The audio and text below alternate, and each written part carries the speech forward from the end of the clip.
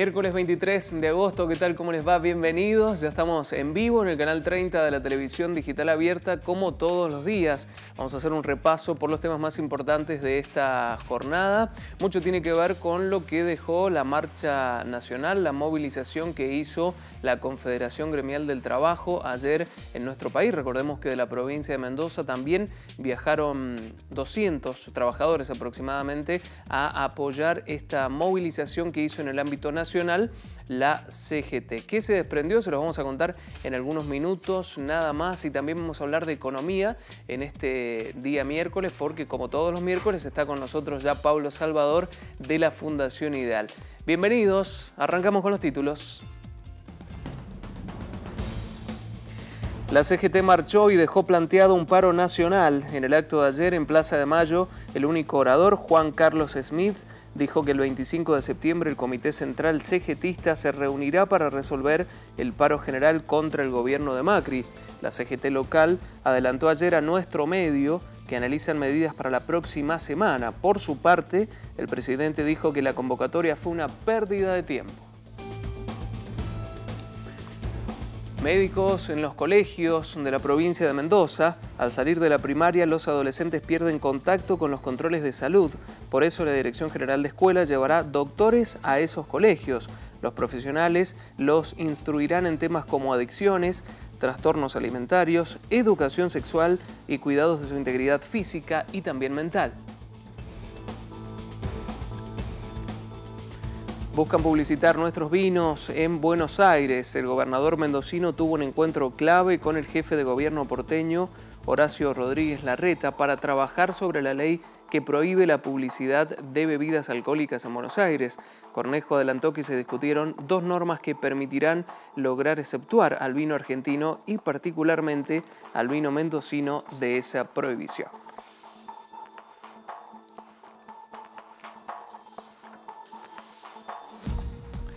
Comenzamos el desarrollo informativo en esta jornada de día miércoles y ayer se los anticipábamos. Hoy es un día clave em, para hablar del caso de Joana Chacón, joven desaparecida en la Valle en el año 2012. ¿Por qué? Porque había una audiencia donde se em, debía determinar si se elevaba este caso a debate, es decir, a juicio. Finalmente se hacía lugar al pedido de la defensa de Mariano Luque, único imputado en la causa, que es que se frene justamente esta investigación. Vamos a ver lo que pasó porque estamos en comunicación telefónica con nuestra compañera de tareas, Verónica Gordillo. Verónica, ¿cómo te va? Bienvenida.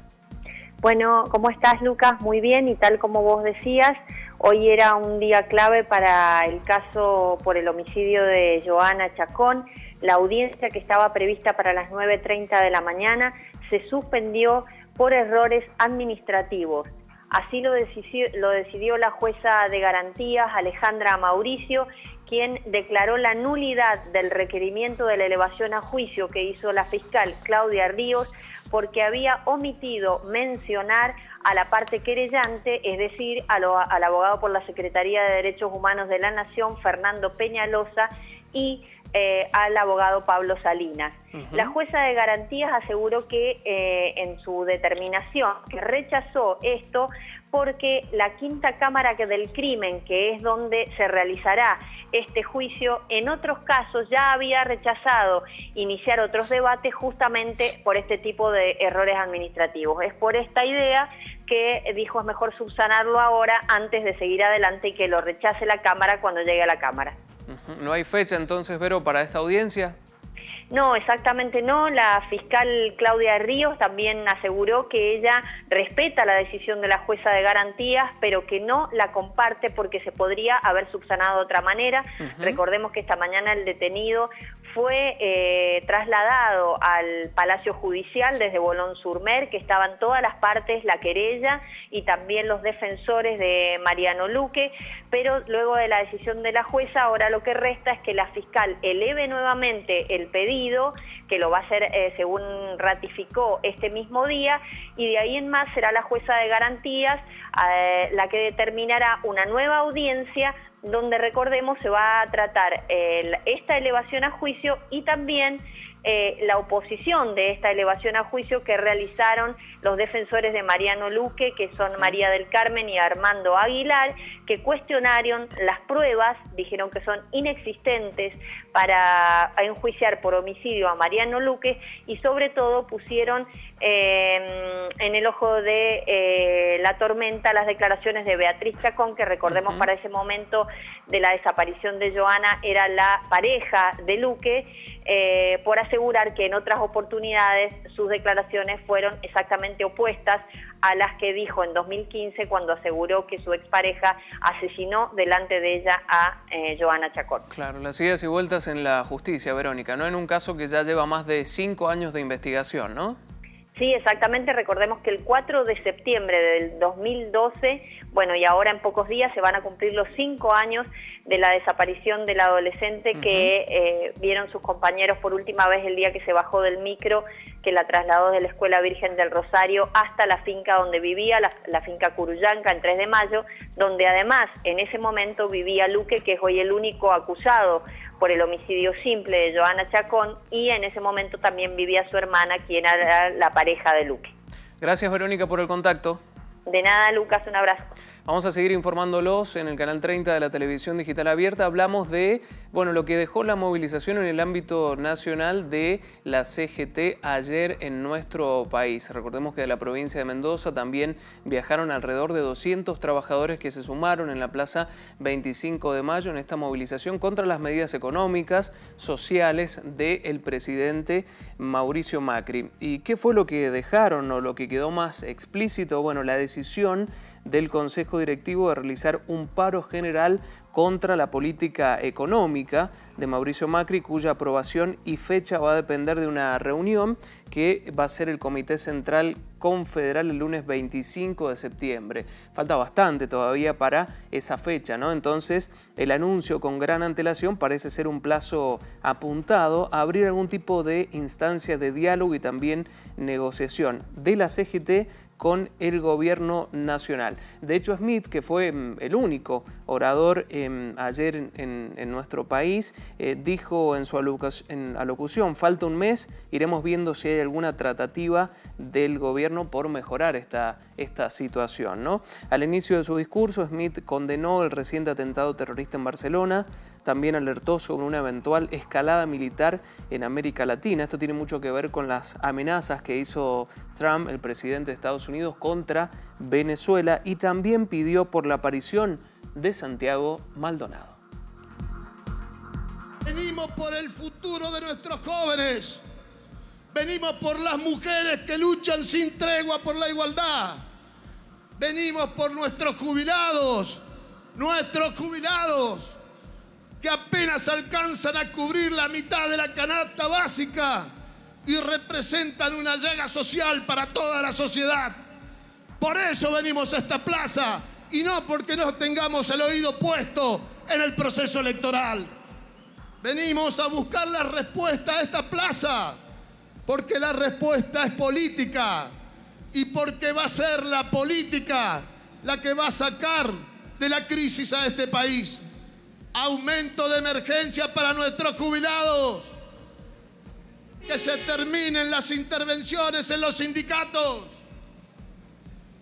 rechazo a cualquier reforma laboral o previsional que lesione nuestros derechos, plena vigencia de los convenios colectivos, defensa del modelo sindical, de nuestras obras sociales y de los fueros laborales control de precios sobre alimentos y medicamentos y emergencia social alimentaria para los sectores populares más desprotegidos. Bueno, esto es parte del extenso discurso que hizo el, orador, el único orador del triunvirato de la CGT. Ayer en la tarde, a partir de las 15 horas, se movilizaron a Plaza 25 de Mayo.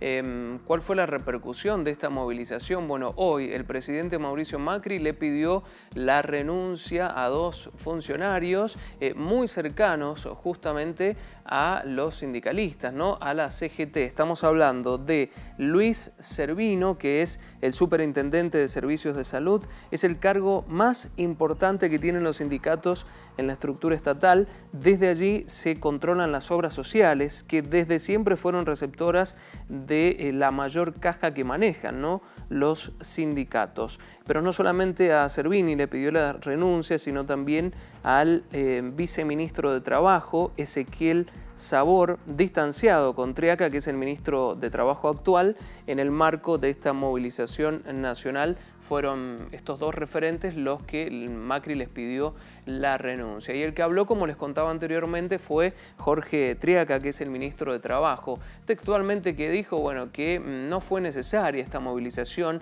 que no tuvo sentido, pero dejó algunos datos económicos de nuestro país que queríamos resaltar y compartir con ustedes. En los últimos 10 meses de, em, de este año se crearon 180.000 puestos de trabajo interanual dijo Triaca. En el sector privado esto significa 50.000 nuevos empleos. La economía va en desarrollo en nuestro país, dijo el ministro de Trabajo, y esta movilización es innecesaria y está ligada a una cuestión política, fueron las palabras textuales y los datos más importantes. 10 meses, 180.000 puestos de trabajo interanual. Enseguida se lo vamos a consultar a nuestro economista para ver si efectivamente esto es eh, así en nuestro país. Si hablamos de la CGT local, les decía anteriormente, ayer desde la provincia de Mendoza viajaron dos colectivos con aproximadamente 200 trabajadores a ser parte de esta movilización en el ámbito nacional. El titular de la CGT local ayer a nuestro medio anunció y adelantó que para la semana que viene se están planeando o analizando movilizaciones en la provincia de Mendoza. Lo vemos. Nosotros desde CGT Regional Mendoza tomamos la decisión la semana pasada en un plenario de secretarios generales de no organizar eh, acá en Mendoza la movilización y mandar gente a Buenos Aires. En ese sentido han salido cinco colectivos desde Mendoza eh, para participar hoy eh, en la Plaza de Mayo. La movilización es por el tema de la flexibilización laboral, por el tema de los despidos que están habiendo a nivel nacional y provincial, por la reforma de la ley previsional. Así que bueno, motivos tenemos suficientes para hacerlo. Inclusive el tema del rumbo económico que el gobierno vemos que no está haciendo nada por eso. Estamos a una reunión esta semana de, de secretarios generales donde vamos a planear, a planificar una movilización en Mendoza por lo que está pasando en Mendoza y por lo que está pasando en el país también. Eh, la última movilización que se hizo en Mendoza con respecto a la CGT fue la movilización más grande del interior del país. Tuvimos más de 15.000 personas en la calle. Así que creemos que tenemos argumento necesario para volver a hacerlo. Bueno, ya escuchábamos la palabra del referente, el titular de la CGT local en nuestra provincia.